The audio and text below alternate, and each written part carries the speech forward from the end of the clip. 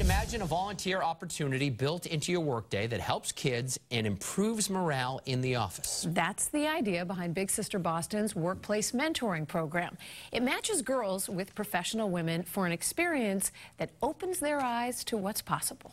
Hello. It's hard to tell who's happier, the girls from Charlestown's Harvard Kent Elementary or their big sister mentors at ad agency Allen and Gerritsen. When they come through through these doors, a tough day really goes out the window. We'll figure it out. Jordana Connor and her little, Marilise, are among a dozen matches that meet for about an hour twice a month, sharing a meal. I love the food here, better than school lunch. One on one conversation. We talk about random stuff that happened in school. And an activity built around teamwork. Sometimes it's poetry, sometimes it's games. Uh, today we're going to be playing Olympic games, which will be fun. So it's always something new.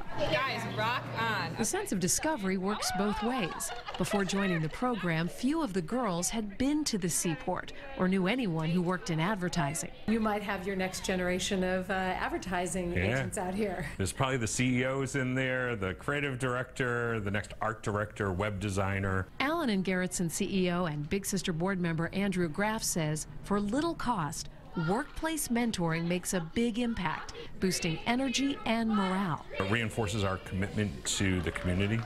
It reinforces our commitment to the next generation of talent.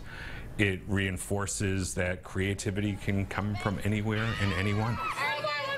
It's also a confidence builder for employees who see how easy it is to make a difference. I never had a little sister, so having someone who's like that type of person in my life is fun. Do you find that it helps you even when you're not here?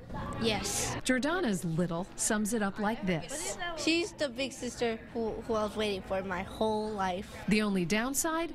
They say the twice monthly hour they share always ends too soon. We are able to make a change in someone else's lives, but also they're able to make a change in ours.